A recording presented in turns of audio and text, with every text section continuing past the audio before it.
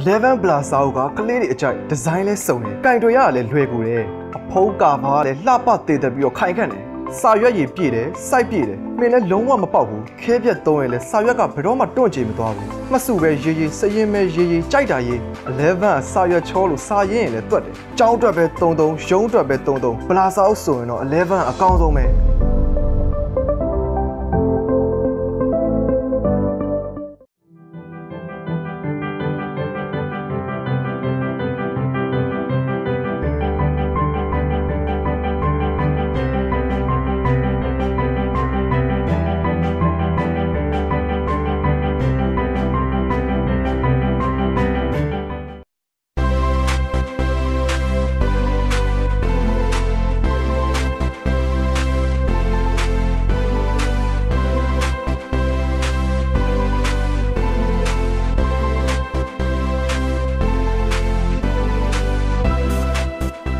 ကုန်တက္ကသိုလ်ဟာ1920ပြည့်နှစ်မှာစတင်တည်ထောင်ဖွင့်လှစ်ခဲ့ပါတယ်။ရန်ကုန်တက္ကသိုလ်ရဲ့ပညာသင်ကြားရေးအဆင့်တန်းမှာလည်းအတိတ်ကာလတစ်ခုမှာအရှိတောင်အာရှဒေသတွင်းနိုင်ငံများမှာထိပ်ဆုံးအဆင့်ရောက်ရှိခဲ့ပါတယ်။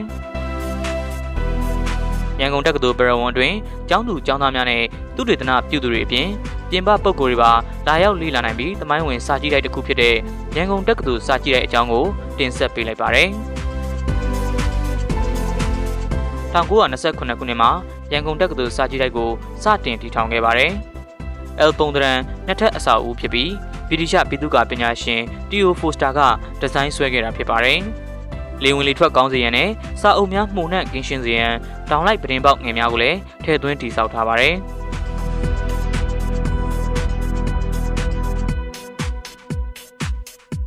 စာအုပ်စင်များခိုင်ခံ့မှုရှိစေရန်တန်တယ်များဖြင့်စနစ်တကျပြုလုပ်ထားပြီးစာအုပ်စင်များထားရှိတဲ့ဂျန်ကင်းကိုလည်း တန်ဖြင့်စောက်လုပ်ထားတဲ့အတွက်မြန်မာနိုင်ငံရဲ့ပထမဆုံးခေတ်မီစာကြည့်တိုက်အဆောက်အအုံတစ်ခုဖြစ်ခဲ့ပါတယ်။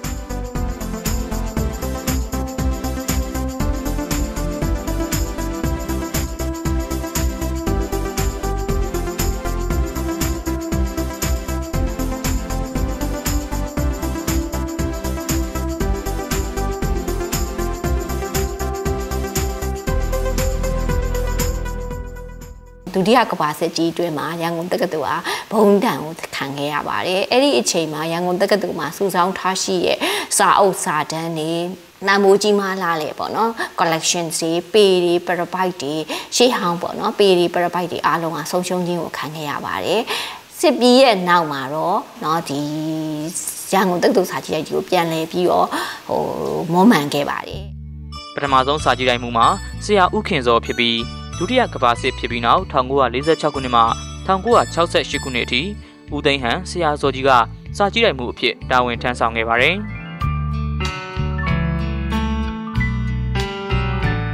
1969ခုနှစ်မှာတော့ဆရာကြီးစီသူဒေါက်တာတော်ကောင်းကစာကြည့်တိုက်မှုတာဝန်ကိုယူခဲ့ပါတယ်။ရန်ကုန်တက္ကသိုလ်စာကြည့်တိုက်မှာဆိုရင်ရန်ကုန်တက္ကသိုလ်မှာဖွင့်လှစ်ထားတဲ့ဘာသာရပ်ပေါင်း22ခုနဲ့သက်ဆိုင်တဲ့ ဘာသာရပ်စာအုပ်များတင်ရိုးညွှန်းနှံကိုအထောက်အကူပြုစေမဲ့စာအုပ်စာတမ်းများနဲ့ပညာရပ်ဆိုင်ရာစာအုပ်များကိုဦးစားပေးစုဆောင်းထားရှိပါတယ်။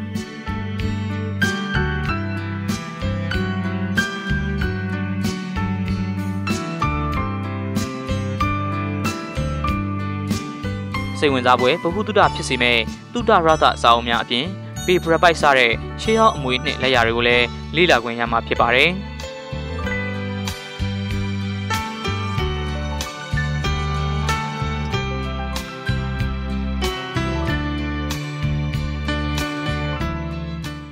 ရန်ကုန်တက္ကသိုလ်စာကြည့်ရရဲ့ website ဖြစ်တဲ့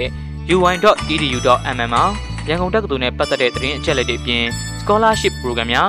ပညာရေးဆိုင်ရာ database များဝင်ရောက်လေ့လာနိုင်သလိုရန်ကုန် University Library Facebook page မှာလည်းစာကြည့်တဲ့နဲ့ပတ်သက်တဲ့ up-to-date information တွေကိုသိရှိနိုင်ပါတယ်။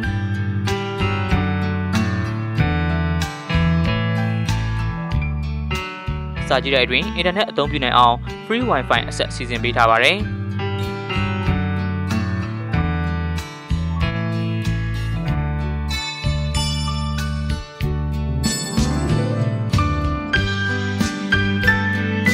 စာအုပ်များကိုပြင်ပသို့ငှားရမ်းဖတ်ရှုနိုင်သလိုစာကြည့်တိုင်းမှာပင်စိတ်အေးချမ်းသာစွာဖြင့်ဖတ်ရှုနိုင်အောင်စီစဉ်ပေးထားပါတယ်။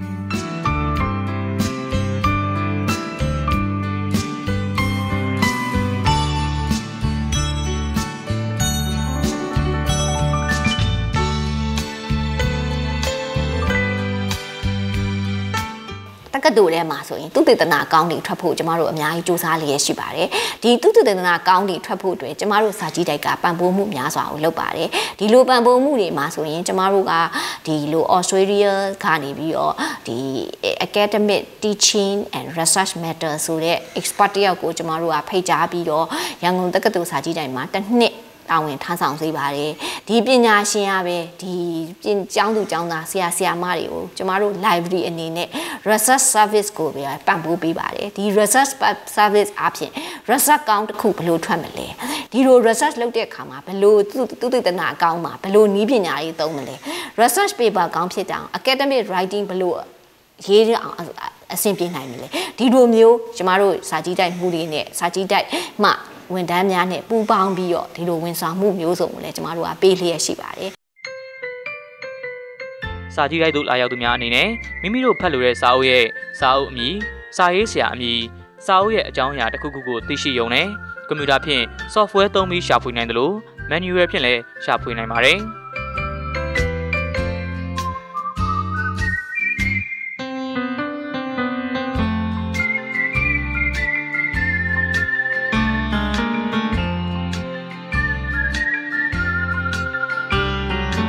ဘာသာရဲ့အလိုက်မာစတာဘွဲ့သူတေသနာစာရန်များပါရဂူဘွဲ့ရပညာရှင်တွေရဲ့စာရန်လက်ရာများကိုလည်းလေ့လာနိုင်ပါတယ်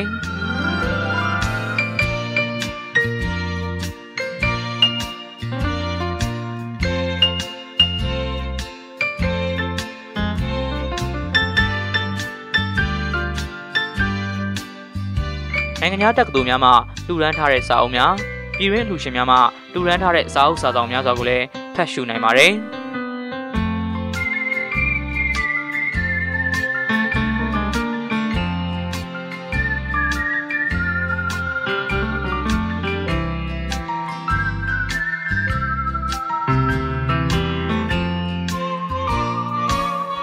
ထွက်ရှိပြီးတဲ့သတင်းစာ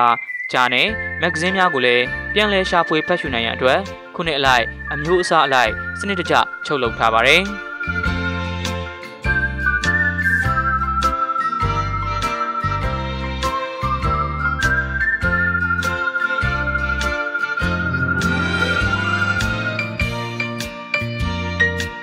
နိုင်ငံကျော်စာရေးဆရာများရဲ့လက်ရမွန်စာအုပ်များသိပ္ပံဝိဇ္ဇာဆိုင်ရာစာအုပ်များစီးပညာဆိုင်ရာစာအုပ်များ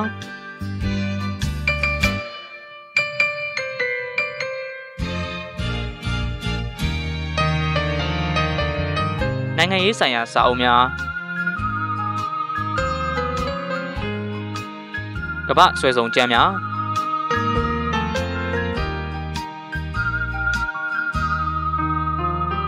ပတ်စဉ်ထုတ်ဂျာနယ်မဂ္ဂဇင်းများနေ့စဉ်ထုတ်သတင်းစာများကိုလည်းဖတ်ရှုနိုင်ပါတယ်။ကျမတို့ရန်ကုန်တက္ကသိုလ်စာကြည့်တိုက်မှာဆိုရင်ကျောင်းသူကျောင်းသားတွေကျောင်းပိတ်ကာလမှာဆိုရင်ကျမတို့က volunteer ဆိုပြီးတော့ခေါ်လိုက်ပါတယ်ဒီလိုခေါ်လိုက်ခြင်းအပြင်ရန်ကုန်တက္ကသိုလ်စာကြည့်တိုက်ကဘလောက်ဘာတွေကိုလုပ်နေတယ်လဲစာကြည့်တိုက်တစ်ခုရဲ့သဘောတရားပေါ့နော်ကျောင်းသူကျောင်းသားတွေသိရှိအောင်ကျမတို့ကဖိတ်ခေါ်ပြီးတော့ နာယီအဖြစ်ကျမတို့ကတရားပေါ့နော်ဒီနာယီတရားပြည့်ရင်ကျမတို့ကရန်ကုန်တက္ကသိုလ်စာကြည့်တိုက်က certificate လေးကိုပေးပါတယ်ဒီ certificate လေးအဖြစ်သူတို့ scholarship program တွေမှာလည်းရှောက်တဲ့ခါမှာ volunteer service ဆိုတဲ့ဟို credit အမှန်လေးကိုလည်းရအောင်ကျမတို့စူးစမ်းပေးပါတယ်အဲ့တော့ကျောင်းသူကျောင်းသားတွေရဲ့လုပ်အားကိုလည်းကျမတို့အများကြီးယူရပါတယ်ရန်ကုန်တက္ကသိုလ်စာကြည့်ရိုက်ကိုတနင်္လာနေ့မှတောက်ကြနေ့အထိနနက်9:00နာရီမှညနေ6:00နာရီအထိဖွင့်လှစ်ပြီး မည်သူမဆိုစာအုပ်များကိုဝင်ရောက်လေ့လာဖတ်ရှုနိုင်ပါတယ်။စာဖတ်ဝန္ဒနာပါသူများစာပေလေ့လာလိုသူများအတွက်လိုအပ်တဲ့စာအုပ်စာတမ်းများအချက်အလက်များကိုစာကြည့်လိုက်မှုအပါအဝင် စာကြည့်လိုက်မှဝန်ထမ်းများကဝန်ဆောင်မှုပေးလျက်ရှိပါတယ်။အေဂျင့်တိတ်ဆိတ်ပြီးတန်ရှင်းတက်ရတဲ့နေရာထိုင်ခင်ဘဟုတုတဖြစ်ပွဲတုတရတစာအုပ်များကိုတနေရာထဲမှာစုံလင်စွာဖတ်ရှုနိုင်တဲ့အတွက်အားလက်ချိန်မှာစာဖတ်ခြင်းဖြင့်အပန်းဖြေလိုကြတဲ့စာပေမျက်နှိုးသူတို့အတွက် တမိုင်းဝင်နေရာတစ်ခုဖြစ်တဲ့ရန်ကုန်တက္ကသိုလ်နယ်မြေတွေကရန်ကုန်တက္ကသိုလ်စာကြည့်တဲ့အကြောင်းကိုရိုက်ကူးတင်ဆက်ပေးလိုက်ပါရခင်ဗျာ။